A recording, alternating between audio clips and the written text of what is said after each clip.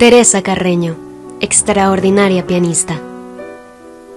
Cual balanza de la dama ciega de la justicia, la vida de Teresa Carreño estuvo signada por la gloria y la desgracia, como ha sucedido con los grandes personajes que legaron para las futuras generaciones honda huella de enseñanza.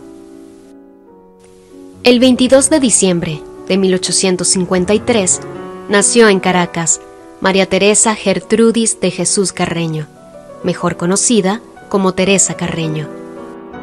Hija de don Antonio Carreño, autor del famoso Manual de Urbanidad y Buenas Maneras, sobrino de Simón Rodríguez y doña Clorinda García Sena y Toro, sobrina de María Teresa Rodríguez del Toro, esposa del Libertador.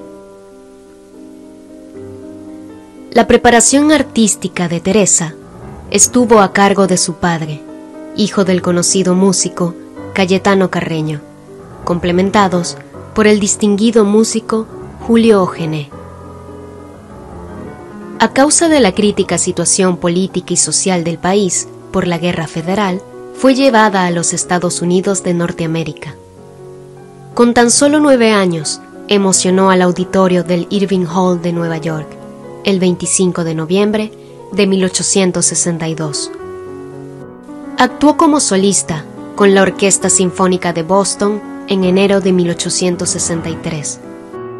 En 1866, apenas con 13 años, le ofreció en la Casa Blanca un concierto al presidente de los Estados Unidos, Abraham Lincoln. Ese año, la familia viajó a París, donde murió su querida madre. La adolescente fue escuchada en mayo de 1866 por el italiano Joaquín Rossini, el autor del Barbero de Sevilla, y el famoso pianista húngaro Franz Liszt, entre tantas celebridades. París la recibió con una crítica favorable. Su talento es reconocido de tal manera que pudo realizar una gira por Francia, Alemania, Italia, Nueva Zelanda, Estados Unidos y Australia. Las mejores orquestas sinfónicas se diputaban el honor de presentarla en los conciertos. Su padre falleció en París el 4 de septiembre de 1874. En 1885 participó en tres conciertos en Caracas y uno en Valencia. La orquesta estuvo dirigida por el maestro Rius. Por ser una mujer divorciada, no era bien vista por la exigente sociedad caraqueña de la época, la cual no asistía a sus conciertos. Teresa contrajo matrimonio en cuatro ocasiones y tuvo tres hijos. Debido a la Primera Guerra Mundial, se trasladó a España, a Cuba y a los Estados Unidos. En Berlín, destacó como solista de la Orquesta Filarmónica de la capital alemana. Tenía un proyecto de instalar en Caracas un conservatorio de música y una escuela de declamación. Falleció en Nueva York el 12 de junio de 1917.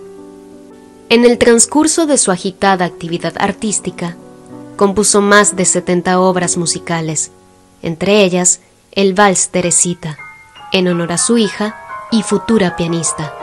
Himno a Bolívar en el centenario de su nacimiento.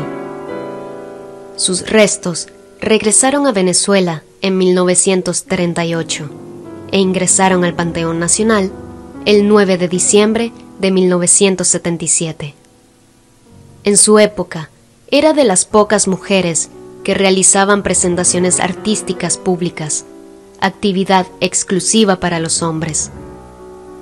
En su honor, el Ejecutivo Nacional, en 1983, designó en Caracas el complejo cultural más grande del país y segundo de Latinoamérica.